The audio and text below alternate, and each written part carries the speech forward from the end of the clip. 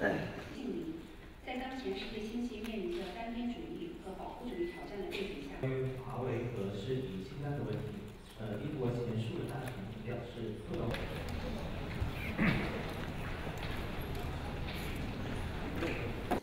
如果美方加征关税的措施付诸实施，中方将不得不采取必要的反制措施，坚决的捍卫国家的核心利益。